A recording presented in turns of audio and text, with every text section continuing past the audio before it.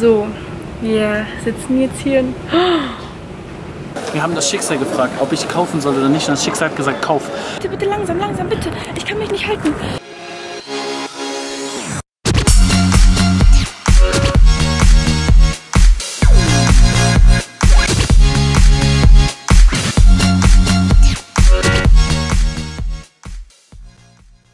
Hallöchen ihr Lieben und herzlich willkommen zu einem neuen Vlog auf unserem Kanal. Diesmal bin ich auch wieder zu sehen. Was? Wow, uns ist gerade eben aufgefallen, ich habe gerade den Vlog von den letzten Vlog geschnitten, da ist uns aufgefallen, dass Kobi einfach nicht eine einzige Szene mit dabei war. Wobei ich bin noch nicht fertig, die Endszene muss noch gedreht werden, also wirst du bei der Verabschiedung mit dabei sein. Wow! Ja! Geil. Heute ist ein äh, ganz besonderer Tag, denn wir fahren jetzt nach Köln zusammen. Warum? Weil mh, ich, der gut aussehende, nein, ähm, der junge Herr hier. Gesundheit. Braucht, danke! Der junge Herr hier braucht einen Anzug. Oh mein Gott, wie süß, das ist Mutter-Sohn-Instinkt. Habt ihr gerade fast zusammen genossen? Okay. Ja. Ich bin raus wohl. Ja, dann geh. Okay, nein, komm, erzähl jetzt, was du brauchst unbedingt. Ich brauche einen Anzug. Richtig, Für Julis Hochzeit. richtig. Meine beste Freundin wird heiraten und dieser Herr hat keinen Anzug.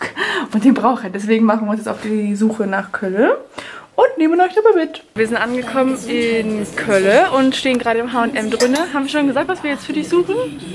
Ja, doch. Doch, haben wir doch zu Hause schon. Einen Anzug, ja. Und wir wollten jetzt zu Pik und Kloppenburg einmal und einmal zu H&M. Und in H&M sind wir gerade drinne. Und die haben hier auf jeden Fall so ein bisschen Auswahl. Bisschen. So ein bisschen grau wollte er eigentlich haben. Mal schauen. Hallo Jungfrau, ich habe ein Gespräch für dich auf 17.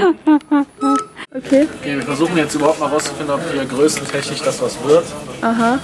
Ah, das Problem bei ihm ist halt immer seine Arme und seine Beine, aber meistens die Arme, weil die Arme einfach zu lang sind. Was sagst du vom, vom, von der Farbe her? Aber sie find, das sieht sieht so schön aus. schon schick aus. Aber die Ärmel sind zu kurz, oder? Ja, Babe, aber du hast immer. Das mal runterhängen? Nee, also wenn du es so runterhängen lässt, finde ich nicht. Oh mein Gott, ich habe dich noch nie in sowas gesehen. Wie schön kann ein Mensch aussehen? Sonst läuft er immer in Jogginghose rum. Aber er ist ein bisschen eng, ne? Ja, aber machst du das zu? Hier. Babe, machst du das wirklich Oh zu? Leute, ich kauf doch jetzt. Also das ist Ja, alles okay, eng, ja, okay, ja, okay, na gut, dann nicht. So, wir sind jetzt im nächsten Laden drin und zwar in Ansons, Ensons. Ähm, genau, in, total witzig. In dem Laden war ich gestern schon mit Jule. Den Vlog habt ihr ja gesehen, wo wir ähm, die Krawatten gesucht haben. Und zwar, schaut mal hier. Ich habe noch eine gefunden. Ähm, wir hatten ja im Weidencenter haben wir zwei Stück gefunden und uns hätte die dritte gefehlt und die habe ich jetzt hiermit gefunden und jetzt habe ich Judith gerade angerufen und sie ist jetzt ganz schnell losgefahren ins Weidencenter und guckt, ob die, noch, ob die zwei noch da sind. Dann würde sie die zwei jetzt holen, ich hole jetzt die eine, dann hätten wir drei. Das wäre richtig perfekt. Ähm, ja, mal schauen. Ähm, ich warte jetzt auf ihren Anruf. Colby ist gerade da in der Umkleide drin und zieht jetzt hier mal ein paar Hemden an. Und währenddessen lädt hier gerade der Vlog hoch. Und? Das sieht so eng aus. Ja, aber das ist so. Du musst dich daran gewöhnen. Äh, Hemden trägt man halt einfach eng. So, wir sitzen jetzt hier. in- Fühlt sich gut an. Wie süß du aussiehst. Schritt ein bisschen eng, aber sonst. Da kannst du halt nichts für, ne? Oh mein Gott, ich hab dich noch nie so gesehen, Babe. Oh yes. Wir sind jetzt, hoppala, wir sind jetzt im, im, im was sind wir? Äh, Karstadtsport. Im Karstadtsport und hier ist alles äh, reduziert. Und Kobe hat sich jetzt hier, ja, hieran aufgehalten. Und zwar von, wo ist der Preis? Ich weiß nicht, 700 irgendwas? Ah, hier. 99. Und der kostet sogar auch wirklich im 799. Internet Ja. 768 oder so. Wir haben geschaut.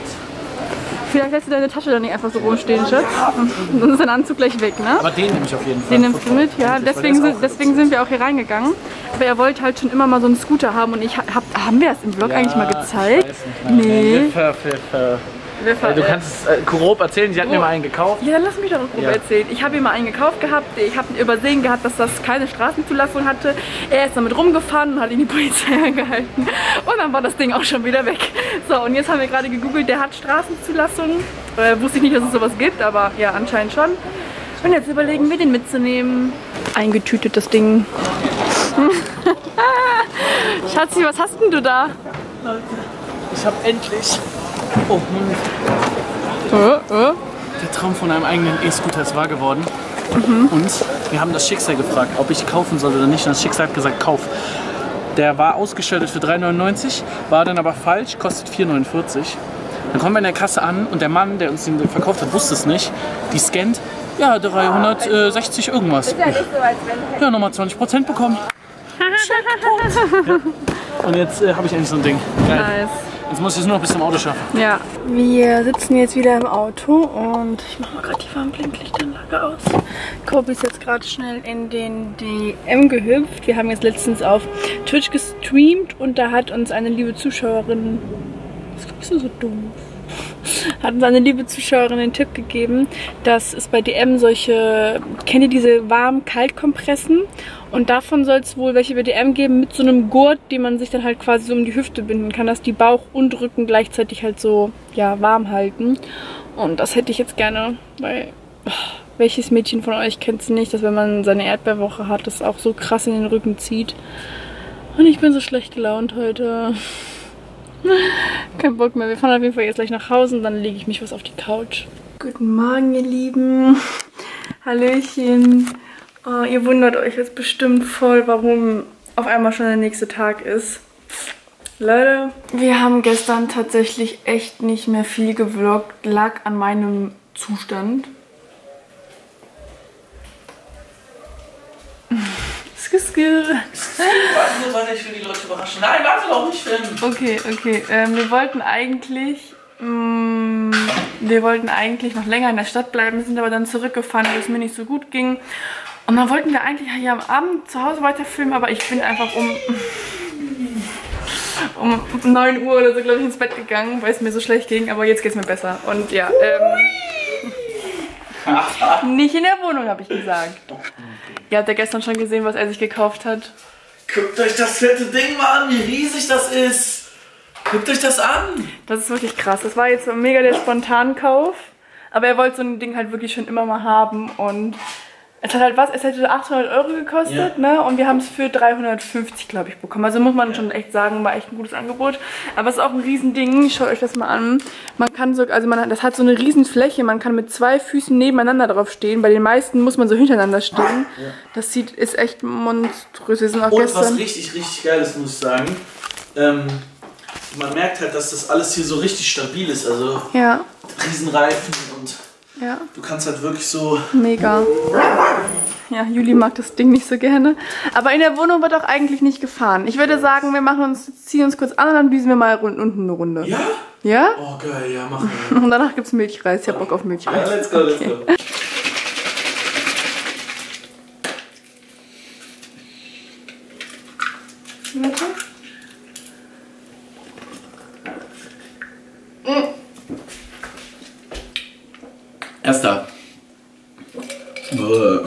Du bist eklig. Ich dachte, das passt alles rein. That's, that's what uh, she said. Let's go! Perfektes Wetter jetzt, um damit ein Ründchen zu fahren. oh Gott, Gott, Gott, Gott, Gott. Ja, man, so sieht man mich auf jeden Fall gut. Ja, ich hoffe, dass es nicht äh, jetzt zu, zu laut ist, aber das macht so Bock. Zeig, film mal nach unten. Vor allem dadurch, dass das so riesig ist, das Ding, also diese Platte, können wir hier richtig problemlos zu zweit draufstehen, ne? Ja. Wir hatten ja schon mal eins, das war so klein, da konnten wir, never ever, haben wir da zusammen drauf gepasst. Und jetzt düsen wir hier einfach rum. Uh! Nicht so eng in die Kurve.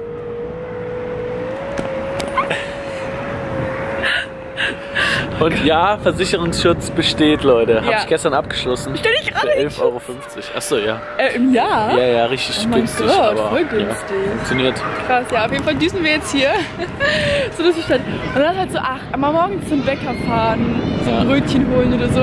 Aber ich habe gerade gesagt, ich fühle mich hier drauf gerade wie als wären wir irgendwo, keine Ahnung, im Urlaub und wir hätten uns so ein Ding ausgeliehen. Es fühlt sich gerade voll befreiend an, einfach hier Ja. so lang zu düsen. Ja, und was, was ich richtig auch nice fand, so, wir werden es auf jeden Fall auch mit nach Holland nehmen, das Ding. Voll, weil wir können wir können es gut zusammenklappen, ne? Ja. Oh, die Kurve, die Kurve, die Kurve, die Kurve, die Kurve, die Kurve. Ich, ich grad so Respekt vor diesen Dingern. Oh, oh Schatz, oh, ich bin, hör auf, bitte, bitte, bitte. Nein. Uh, uh. Lass mich bitte, ich will dich gerade. Ja, war nicht. Komm, wir können ein bisschen Titanic machen.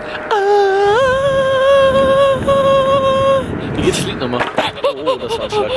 Nicht so, das fühlt sich so schnell an. Oh Leute, ich muss die Kamera wegpacken, ich muss mich festhalten. Babe, bitte, bitte langsam, langsam, bitte. Ich kann mich nicht halten. Tschüss, nicht so schnell. Oh. Du kannst nicht so eine Vollbremsung machen. Wow, wir sind wieder da. Okay, er mag dieses Ding wirklich nicht. Alles gut, hey, das macht nichts. Das macht nichts. Freust dich, dass wir wieder da sind? Ja, wir waren sechs Stunden weg, ich weiß. Oh, wie schlimm, waren wir so lange nicht daheim? Oh, bist du schön alleine geblieben, toller Junge. Jetzt gibt's erstmal Frühstück. Ich hab Lust auf Milchreis und Toast. Scheiß, ich esse Toast. Okay, hier sieht's ja wieder richtig geil aus. Der Milchreis ist in the making. Und Schatzi hat schon seinen Toast. Newton Hunger.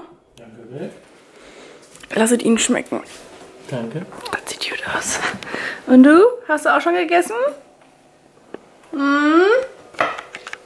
Na, nicht aufgegessen. Kollege. Schatzi, bist du süß. Ich bin gerade ganz nah rangezoomt an dein Gesicht.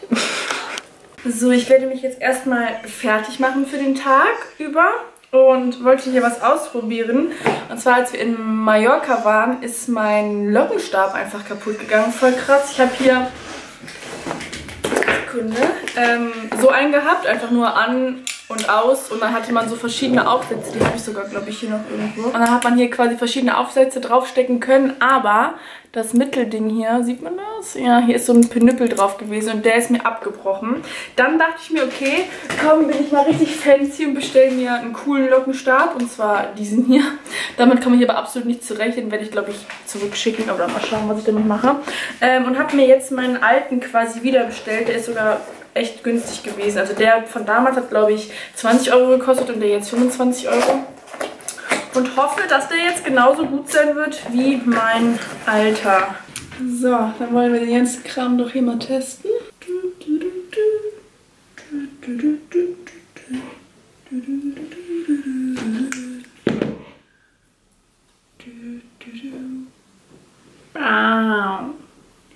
Nee, das funktioniert besser. Und das ist jetzt das Ergebnis. Rechts gelingen mir die Locken irgendwie immer ein Stückchen besser als links. Was ist das hier unten?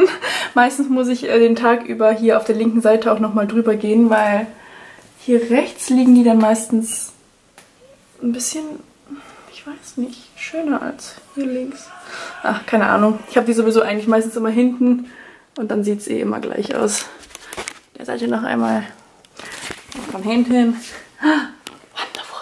So, ihr Hübschen, ich würde sagen, an dieser Stelle beenden wir dann auch diesen Vlog. Wir hoffen, dass er euch gefallen hat. Wenn ja, lasst uns sehr, sehr gerne ein Däumchen nach oben da. Ich habe gerade noch meine Nägel neu lackiert. Musste mal wieder sein. Ich habe diesmal ein Weiß genommen auf allen Fingern. Ich hatte vorher ja so bunt. Jetzt quatsche ich euch wieder zu. Ich wollte eigentlich Tschüss sagen. Genau. Äh, so sehen meine Nägel jetzt aus. Habe sie neu gemacht. Ähm, genau. Wir hoffen, das hat euch gefallen. Wenn ja, lasst gerne ein Däumchen nach oben da. Schreibt einen lieben Kommentar und lasst in den Kommentaren den Hashtag, Hashtag Anzug da. Genau, dann äh, werden wir da auf jeden Fall mal vorbeischauen und allen einen lieben äh, Kommentar oder ein Herz bei eurem Kommentar da lassen. Versteht ihr, was ich meine? Ich hoffe. Und dann würde ich sagen, sehen wir uns im nächsten Vlog wieder, wo ihr auf jeden Fall einschalten müsst, denn die nächsten Vlogs werden auf jeden Fall spannend. Wir werden euch da hoffentlich sehen. Und dann bis zum nächsten Mal. Wir haben euch lieb. Tschüss.